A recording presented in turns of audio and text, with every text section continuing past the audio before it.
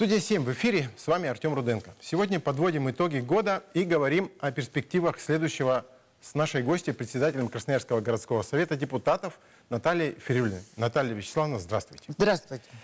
Вы давно наблюдаете, как меняется город. Давно. И э, есть ли у вас какое-то ощущение, что он сейчас, вот последние годы, как-то иначе меняется? Ну, в какую-то, может быть, более здравую сторону, более такую человечную.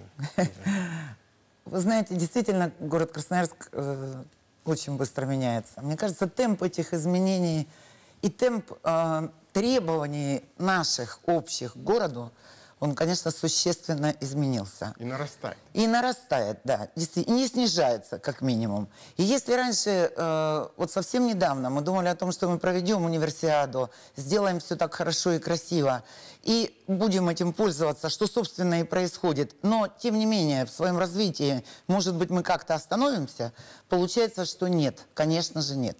И есть сегодня и необходимость в этом, безусловно, потому что мы нуждаемся в определенном количестве остро нуждаемся, социальных объектов, конечно же, в городе Красноярске.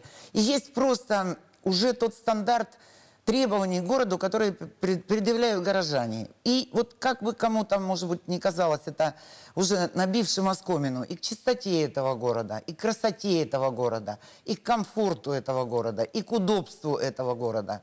И на самом деле у всех очень очень и очень много требований. И надо сказать, что требования, планка этих требований постоянно повышается, что вполне разумно. А, Для красноярцев это родной город, это столица Красноярского края, и уверена, что столица все-таки Сибири. К нам приезжает огромное количество гостей, Э, Возможно, что сейчас не те условия, когда можно вот прям количественно увидеть в разы увеличивающееся количество туристов, но, на мой взгляд, и мы сами, живя в этом городе, хотим жить в нем очень удобно. И это очень тоже емкое понятие. Поэтому город, конечно, меняется и будет меняться дальше. Но нам еще мы быстрее надо. Чтобы стоять на месте, надо быстро бежать. да, это как верно, сказала это Алиса. правда, да. Ну, я, я еще люблю очень одну поговорку. Если не знаешь, куда идешь, то точно, э, это даже не поговорка, это Льюис Кэрролл, точно придешь не туда. Поэтому надо понимать, какие цели мы ставим, э, понимать, как достичь этих целей, и, и, и понимать, вот видеть образ будущего города. Город скоро будет отмечать 400-летие. На самом деле время бежит очень быстро. И мы должны вот все вместе увидеть этот город, который наш любимый, замечательный, которому скоро будет 400 лет. Целеполагание. основное. Обязательно. Целеполагание обязательно. Увековечение памяти депутатов. Алексей Клешко. А Как вы относитесь к этому, к увековечиванию? Я знаю, что у вас были свои отношения личные. Действительно, И я... как раз по целеполаганию, это как раз надо отдать должное Алексею. Мы, я его зову Алексей, не Михайлович, он для Я меня. тоже. Да, поэтому он очень ценил целеполагание в долгую и наделение смыслами каких-то действий.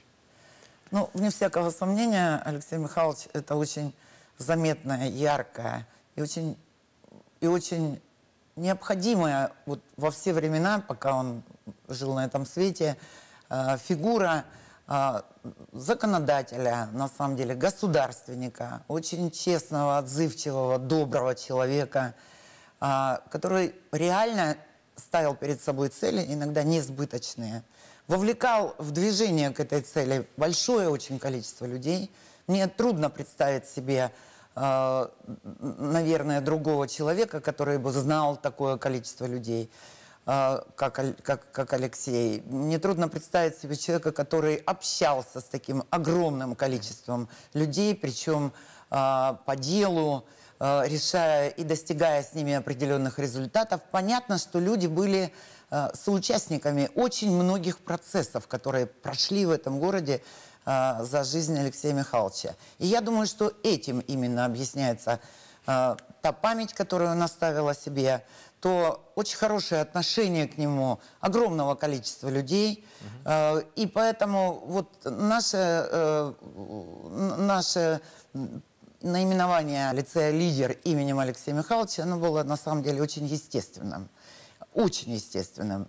Э, Я думаю, что это еще не предел, что существует огромное количество проектов Э, имя Клешко связано с ними, просто сказать, буквально. Например, э, проект э, реконструкции библиотек в Красноярском крае, конечно же, прекрасный проект.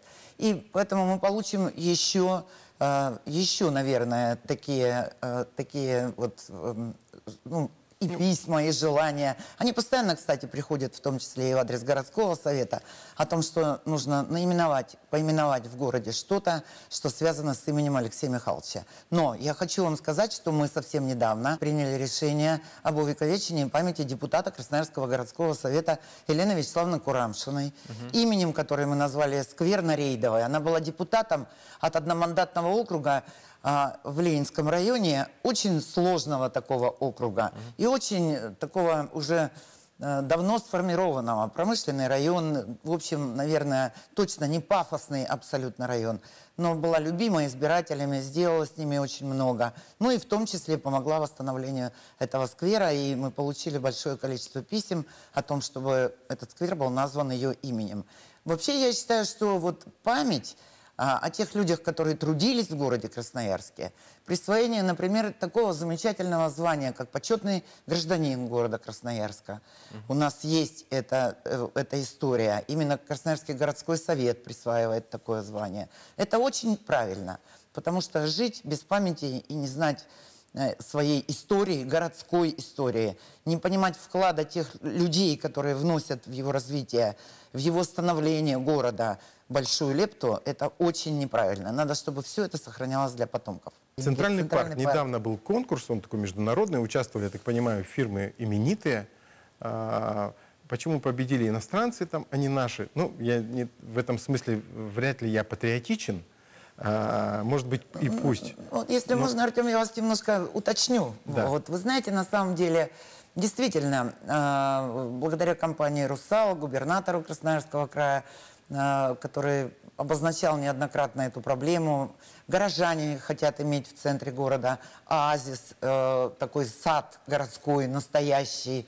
Э, Это уже знаковое место такое. Безусловно, как иногда говорят, такое намоленное место, да, только в другом смысле, для, да. для отдыхов и всего, для отдыха, развлечений, для прогулок с детьми. Это действительно очень хорошо. Был объявлен конкурс с поддержкой компании «Русал». Были действительно очень именитые японские, э, британские и немецкие, и французские, прошу извинения, архитекторы, но вместе с ними работали российские архитекторы. Это были коллективы совместные, вот в любом варианте.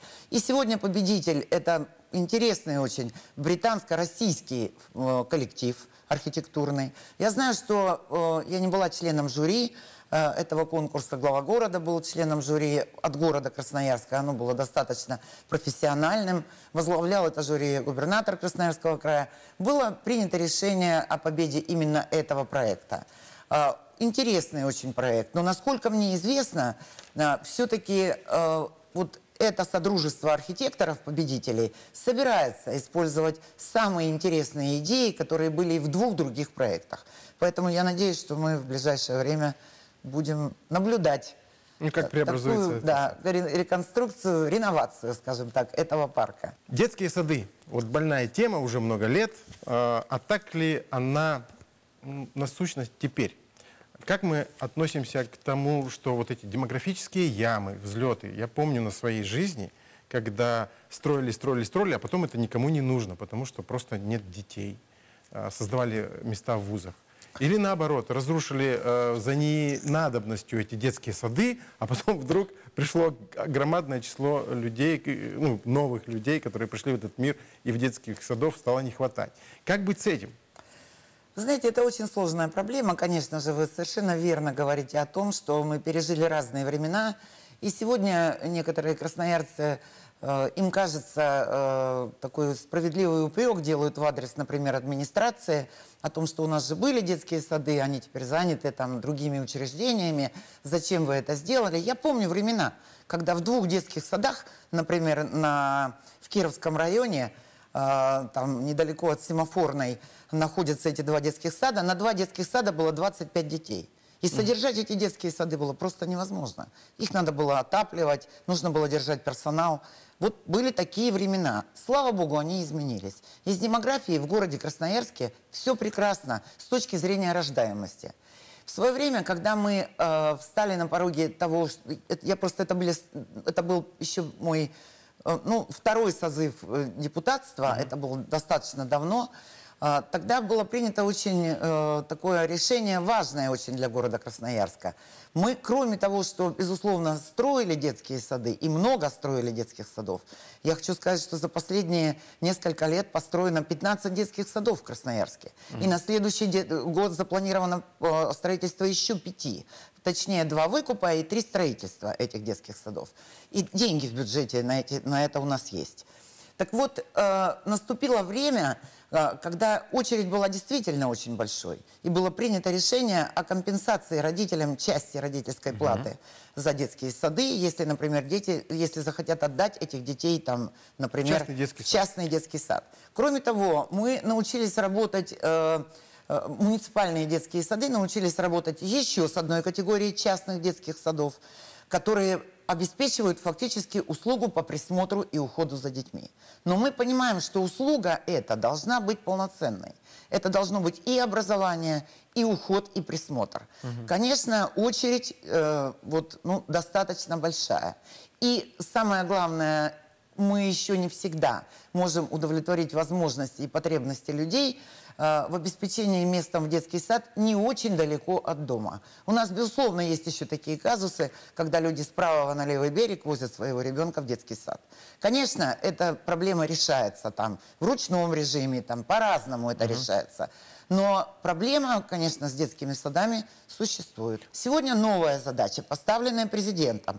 Это национальный проект. Первые этажи детских садов теперь будут оборудоваться ясельными группами. Это требование Роспотребнадзора. Национальные цели э, заявлены президентом Российской Федерации. У нас есть проекты, национальные государственные программы. Мы участвуем во всем этом. И в приоритеты, приоритеты выбраны и, и с точки зрения школ, и с точки зрения детских садов. Про национальные проекты. А, какие национальные проекты участвуют в финансировании э, и каких наших красноярских объектов? Потому что ну, иногда люди же не понимают, откуда деньги-то.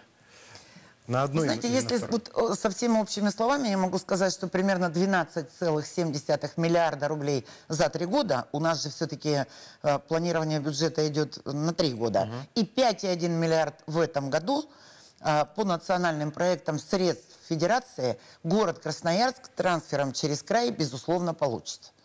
Это средства как раз на завершение э, строительства школы, ну, на, строительство школы на Бугаче, на строительство трех детских садов, на выкуп двух детских садов мы будем иметь эти средства.